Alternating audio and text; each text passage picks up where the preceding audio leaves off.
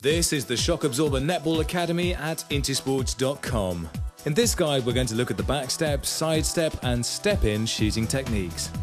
If you're a goal attack or goal shooter and you want to perform at a higher level, then you'll need to learn a range of shooting techniques. It's important to learn each of these variations as individually, they're one of a number of ways you can relieve pressure from a defender. The back step shot technique is especially useful if you're being marked by a defender that's taller than you because it puts additional space between you. Most shooters use the backstep shot when a defender's arms are obscuring a direct shot, or when they receive the ball directly under the net because it provides a better shooting angle.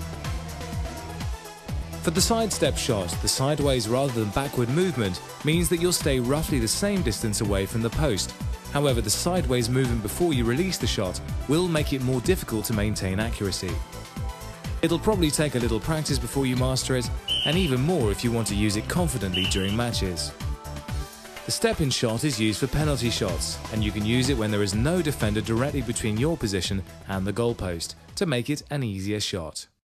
Okay, let's look at the key points of technique, starting with the backstep shot. The basic setup is very similar to the basic shot, so the ball is held above your head and resting on the pads of the fingers of your preferred shooting hand, with your wrist under the ball. Your free hand will be on the near side of the ball to give extra stability and control, and you should be able to see past your hands to the rim of the goalpost. Take a small step backwards, lifting your front foot as you do.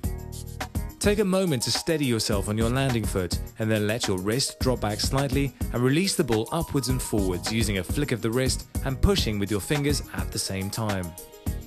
Your front foot must remain off the ground and the ball should loop up and over like a normal shot into the ring. You'll notice that the best shooters in the world manage to maintain complete balance and their backstep technique is very similar to that of their basic shot.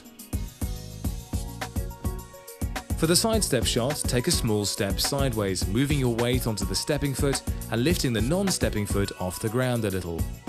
Again, take a moment to steady yourself on your landing foot, and then release the ball forwards using a flick of the wrist whilst pushing with your fingers at the same time.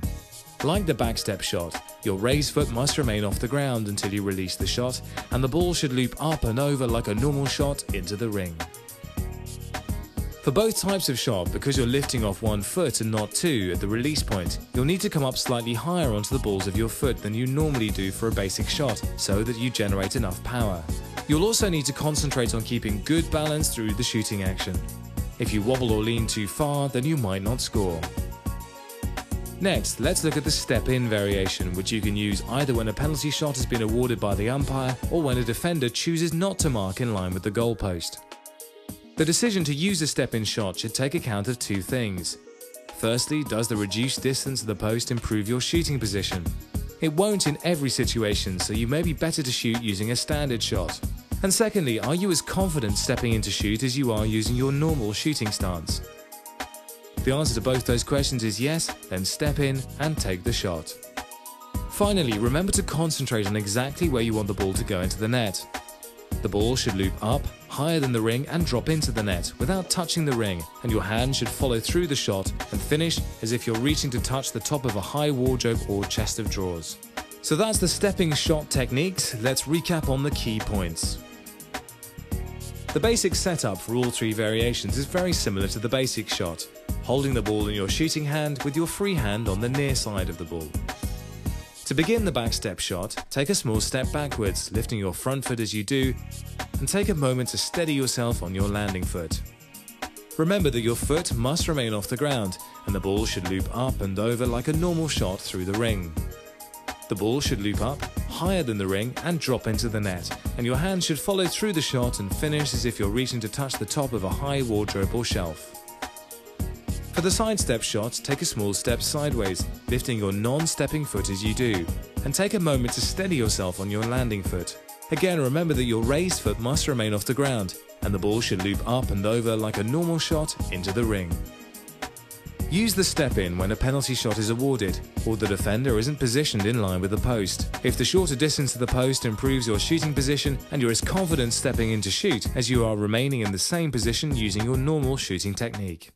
So that's three new variations of the basic shooting techniques mastered. If you want to add another shot technique to your repertoire, then why not check out the guide to the jump shot or running shot? Or if you're keen to practice your backstep shot technique, why not check the drill section for a practice drill that you can use? intosport.com, the home of world-class netball coaching online.